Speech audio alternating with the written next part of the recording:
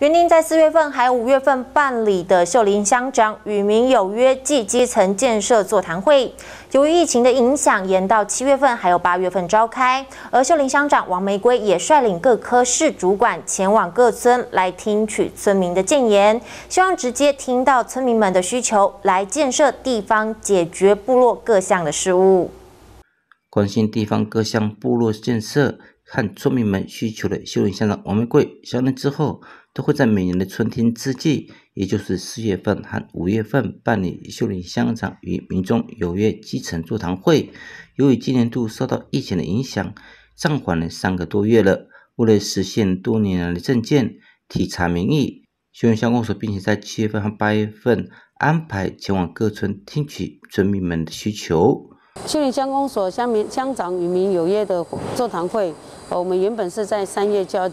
进行，那因为受到疫情的影响，所以延到这个月来办理。那是因为疫情舒缓之后，我们也还是依照我们的防疫措施的规定，哦，我们来办理这样的活动。那目前已经办理了第四场。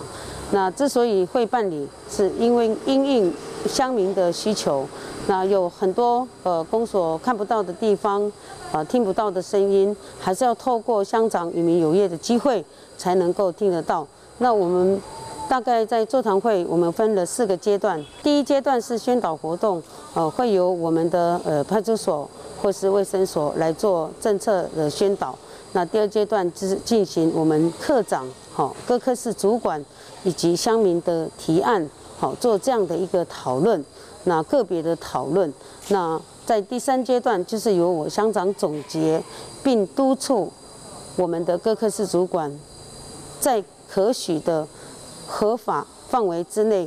能够尽速来改善或是施作，那我就会督促各科室交办来办理。那第四阶段就是临时动议，那临时动议。很多我们村子的村民都会提出不同的一些意见，那我也觉得，呃，有大家的意见，乡公所才会，呃，做更多的事，那社区才会发有发展，社区才会呃更好，你更让人家觉得，呃，我们的环境或是设施也好，都有改善的一个呃情形，也成长了很多。秀林乡长王桂率领着各科室主管，包括秀林下面代表金云香、林玉龙、陈美莲。环境分局新城分局除了宣导公所各项政策，警分局的责任宣导，村民们也直接写下自己的提案，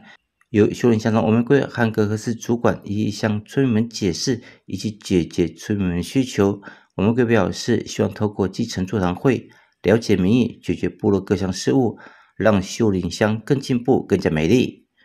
记者九英首先报道。